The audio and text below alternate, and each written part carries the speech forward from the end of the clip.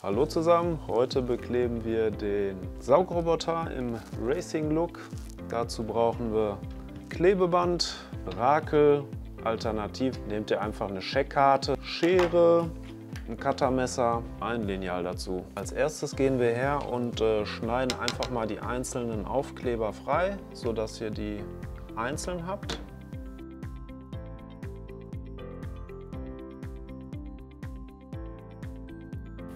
Genau, jetzt haben wir alle Aufkleber freigeschnitten. Jetzt geht es an den Saugroboter. Dann positioniert ihr euch auf dem Saugroboter die Folie.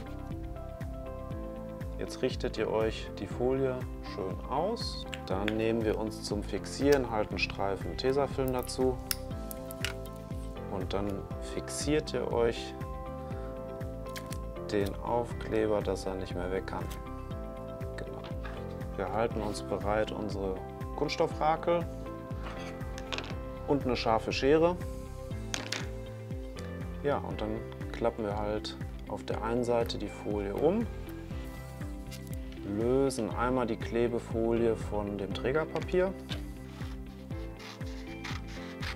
dann mit der einen Hand entspannt festhalten und mit der Rakel die Luft unter der Folie rausstreichen.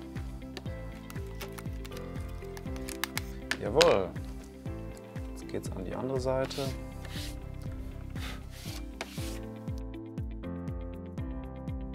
Ja, das sieht gar nicht so verkehrt aus. Erste Folie ist drauf. Auch da gehen wir wieder her und fixieren uns das Ganze mit zwei Streifen Tesafilm oder alternativ auch Kreppband gerade.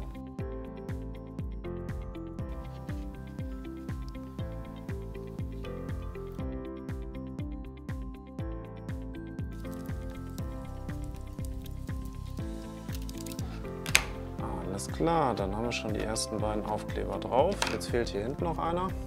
Den haben wir auch schon freigeschnitten. Auch hier fixieren wir uns das Ganze mit einem Tesastreifen.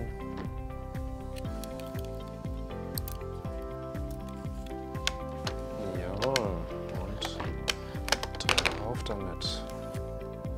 Dann haben wir noch für die Seiten hier die Auspuffanlage, die angedeutet wird. Auch hier gehe ich jetzt einmal her und äh, schneide mir den Aufkleber einmal frei. Auch hier schnappe ich mir wieder einen Tesastreifen, schauen, dass er schön gerade ist, suchen uns oben eine Flucht. Ja, und jetzt haben wir halt den Anschlag, wo wir es uns umklappen können. Und mit unserer Rakel- oder Scheckkarte einmal feststreichen. Das war die eine Seite und auf der anderen Seite machen wir es ganz genauso. Und auch hier ziehen wir uns das Silikonpapier ab. Jetzt gibt es im Lieferumfang noch dazu den Heckspoiler. Ähm, dafür haben wir euch beigelegt ähm, ein paar Klettpunkte, auch selbstklebend. Weil ähm, wenn ihr jetzt mal ein Sideboard habt oder irgendwie ähm, eine Kommode, wo der Robo natürlich drunter fahren soll, könnt ihr in dem Moment die Pommestheke dann auch abmachen.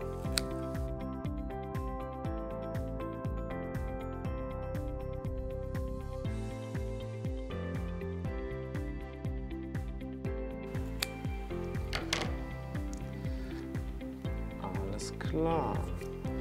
Ähm, ihr solltet natürlich bedenken, dass ihr diese Klappe zwischendurch auch nochmal aufmachen müsst, um den Staubbehälter äh, zu entleeren.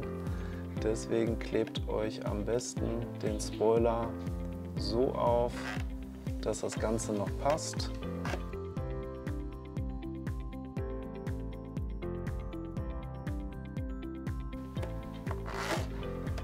Passt, wackelt und hat Luft. Okay, das war's. Viel Spaß mit eurem Racing Robo.